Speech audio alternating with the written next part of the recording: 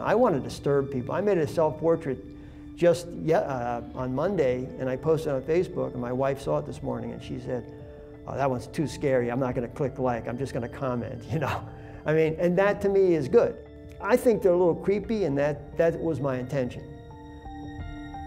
The original photos were made in the old style, analog. I wasn't happy with them. They were in storage. None of them ever saw the light of day. When I got uh, introduced to Photoshop, I scanned them and began to manipulate them. These pictures do not resemble the original photos, but they came from the original work that I did when I was but a wee lad. Art is not that good, I don't think, at changing people's minds politically, but it's really good at exploring the mysteries of the human consciousness.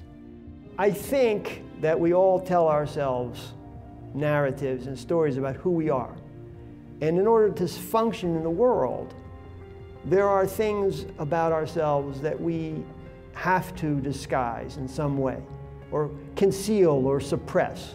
I want you to feel like there's a thing growing out of the head. That's really creepy. And then maybe making the leap to why is he doing this? Well, maybe he's commenting on the way we feel inside when things don't go well. If we could understand more about what makes us tick and why we do certain things and why we hurt each other, we would get better. We wouldn't be so messed up, so anxious, and so, so bad to our fellow humans.